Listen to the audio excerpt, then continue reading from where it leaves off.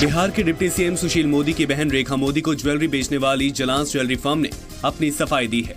Firm ने कहा कि उनसे रेखा मोदी ने ही ज्वेलरी खरीदी थी। वहीं इसका भुगतान सृजन महिला सहयोग समिति और रिक्की ताशा बुटी की तरफ़ से आरटीजीएस और चेक के ज़रिए किया गया था। ज्वेलरी कंपनी ने जाँच एजेंसी को सहयोग का भरोसा दिया है।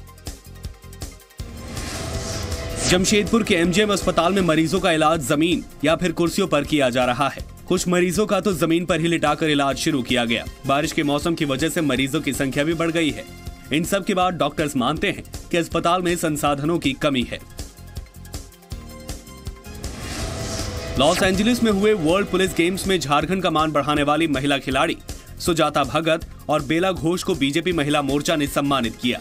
रांची में राज्य महिला मोर्चा के अध्यक्ष आरती सिंह ने कहा कि बेला घोष और सुजाता ने महिला सशक्तिकरण की मिसाल पेश की है।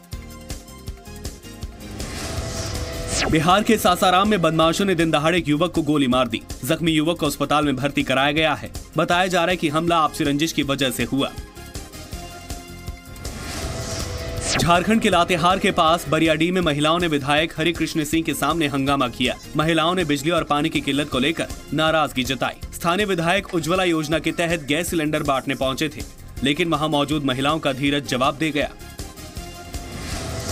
झारखंड की खूटी में पुलिस ने एक माओवादी समेत तीन अपराधियों को गिरफ़्तार किया है। पकड़े गए माओवादी पर 10 लाख का इनाम था।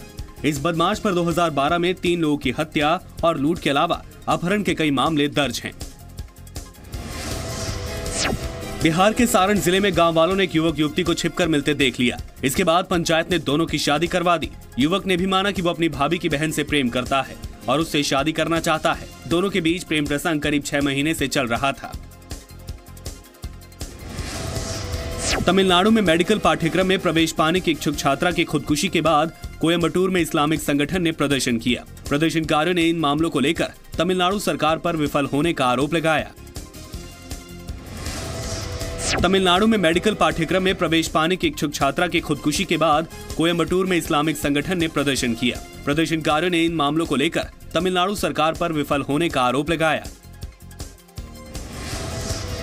गुवाहाटी में संक्रमण से पीड़ित छह महीने के बच्चे को अस्पताल से एयरपोर्ट तक ले जाने के लिए ट्रैफ़िक पुलिस और जनता ने करीब 45 किलोमीटर लंबा ग्रीन कॉरिडोर बनाया। दरअसल बच्चे को एयरपोर्ट से दिल्ली इलाज के लिए जाना था और ग्रीन कॉरिडोर के ज़रिए 45 किलोमीटर की दूरी 26 मिनट में तय की गई।